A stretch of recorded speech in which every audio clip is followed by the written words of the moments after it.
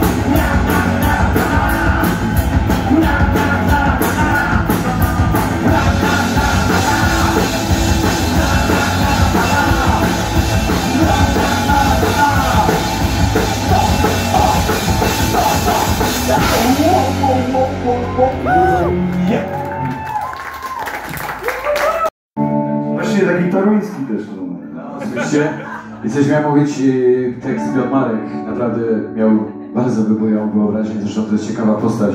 Jeżeli nie spotkaliście się nigdy z takim człowiekiem jak Piotr Marek, to zapraszam Was, pooglądajcie sobie, pogooglujcie, bo to wys- wysokiej klasy artysta.